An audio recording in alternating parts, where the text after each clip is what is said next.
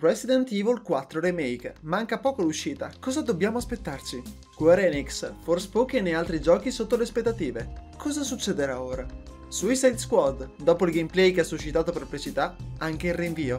Brutte notizie per il gioco targato Rocksteady? Outlast Real. Quasi al punto d'arrivo. Ma sarà un buon horror? Starfield. Dopo molto tempo abbiamo una data d'uscita. Ma ci sono ancora molte domande da porci. Bethesda sarà in grado di mostrarci un ottimo progetto? Tutto questo nelle news videoludiche.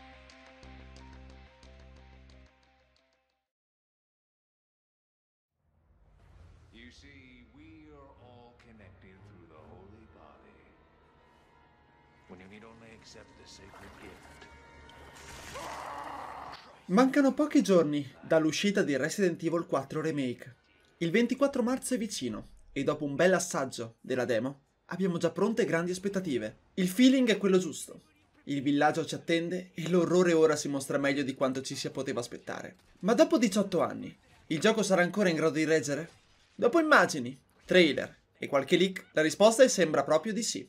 Quello che ci troviamo davanti è un remake in grande stile, il cambio di grafica, le ambientazioni rese ancora più tetre e sporche, la paranoia ora più palpabile dopo l'aggiunta di varie meccaniche, esenti dal gioco originale, e dopo finalmente l'inserimento anche di altri doppiaggi, tra cui l'italiano, si crea qualcosa che tocca nel pozzo magico del gioco originale e ne ricrea un gioco nuovo, violento, frenetico e pauroso. Resident Evil 4 rimarrà nella storia, oltre per i 10.000 porting creati per varie console, per il cambio generazionale di una saga immortale, che ha avuto alti e bassi. E con questo remake rivediamo di nuovo questo cambio che fu nel 2005.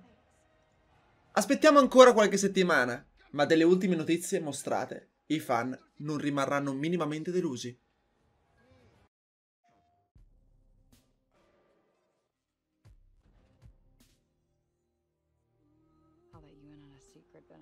La casa sviluppatrice di molti tra i più famosi videogiochi, come Final Fantasy, Dragon Quest e Kingdom Hearts, sembra ora nei guai. Dopo l'uscita di Forspoken, che a dire di molti è stata disastrosa, e dopo le vendite deludenti degli ultimi giochi, come Octopath Traveler 2 e Final Bar Line, Square Enix sembra ora nuotare nell'alta marea e potrebbe avere problemi nel restare in superficie. Ma non è la prima volta che Square si ritrova in questo stato. Ora vedremo come potrà risollevarsi. Dopotutto, il nuovo Final Fantasy deve ancora uscire e forse sarà la scialuppa di salvataggio che potrà portare la cara casa produttrice fuori dai guai economici. O almeno questo lo speriamo. Aspettiamo il 22 giugno per vedere se succederà questo, anche se per ora i fan potranno solo giocarsi da PlayStation 5.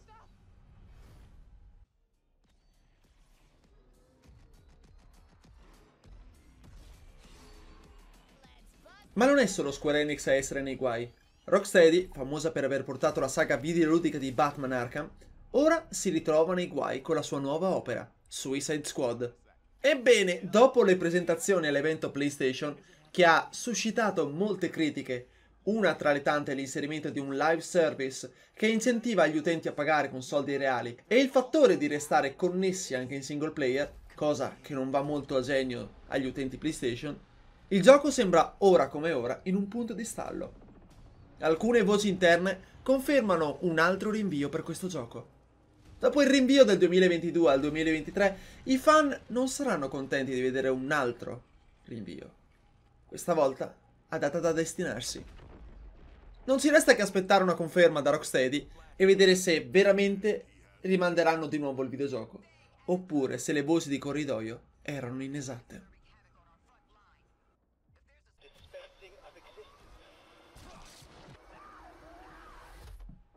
Dopo sette anni, finalmente l'orrore ritorna a toccare il nostro schermo.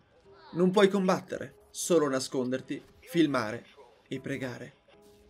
Outlast ritorna finalmente in vita, dopo l'ultimo capitolo che ci portava nelle lande desertiche dell'Arizona. Outlast 2 ha avuto un'accoglienza che elogiava assai il suono, la grafica e l'atmosfera, ma per molti fallì nel gameplay e nella difficoltà. A differenza del primo e del DLC Whistleblow, il secondo capitolo ha avuto un discreto successo, per poi finire nel dimenticatoio. Ma sembra che questo terzo capitolo potrebbe cambiare le carte in tavola. Outlast Trials, oltre ad avere un titolo assai diverso, ha anche alcune aggiunte che potrebbero rendere il titolo particolare. La più importante è la meccanica multiplayer. Ebbene, nel gioco potremo giocare con altri 4 giocatori, all'interno di una struttura piena di trappole, puzzle e qualche pazzo che vuole tentare di ucciderci. La collaborazione è importante al fine di uscire dal livello, ma cosa succederà se non sarete capaci di mostrare dedizione a questi esperimenti? Oltre al multiplayer, il gioco uscirà in Early Access. Questo vuol dire che non sarà direttamente completo, ma avrà aggiunte di nemici inediti, nuove mappe e correzioni del gioco, mano a mano che si va avanti col tempo. Per gli amanti del pericolo, segnatevi questa data, il 18 maggio 2023. Siete pronti per affrontare la follia insieme a qualche amico?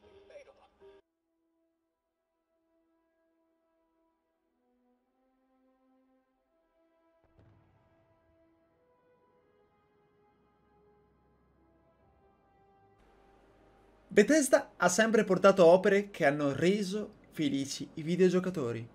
Da Fallout a Skyrim, ogni persona ha sempre mostrato passione nell'entrare in queste ambientazioni. E ora, dopo mondi post-apocalittici e dopo storie fantasy popolate da draghi, elfi e magie, è tempo di toccare vette più alte. Lo spazio. Starfield è sulla bocca di tutti e dal trailer, gameplay e notizie si capisce anche il perché. Dopo molto tempo passato a capire cosa dovremmo aspettarci da questo gioco, finalmente arriva una data. Ma non è molto vicina. I fan dovranno aspettare ancora un bel po' prima di mettere le mani su quella che potrebbe essere la nuova saga che porterà in vetta la casa statunitense. Ma cosa dobbiamo aspettarci? Vedremo una cosa già vista in Fallout e Skyrim o sarà un'ambientazione totalmente nuova? E le promesse fatte? Verranno mantenute? Sono domande che neanche le stelle sanno rispondere, ma magari l'11 giugno potremo avere qualche assaggio su ciò che ci aspetta. Pronti a salire su un'astronave e visitare il vasto spazio? Allora segnatevi la data del 6 settembre. Il gioco sarà disponibile sia su Steam, sia su Xbox Series X e S. Mentre la versione PlayStation, beh, diciamo che ancora non si hanno notizie, e dubito se ne avranno.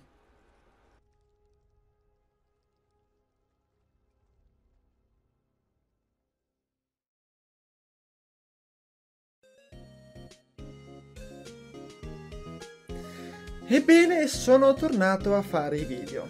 Uh, dopo un po' di problemi, mi dispiace tantissimo, ma è stato un po' un periodaccio nel provare a montare e provare a portare qualcosa di decente per voi. Ma finalmente, eccomi qua. Allora, sono finalmente tornato a fare video per voi e non vedo l'ora di continuare queste mie avventure. Se vi è piaciuto questa tipologia di video, continuate pure a seguirmi e vedremo che cosa riusciremo a portarvi piano piano. Quindi, pronti per nuove fantastiche avventure?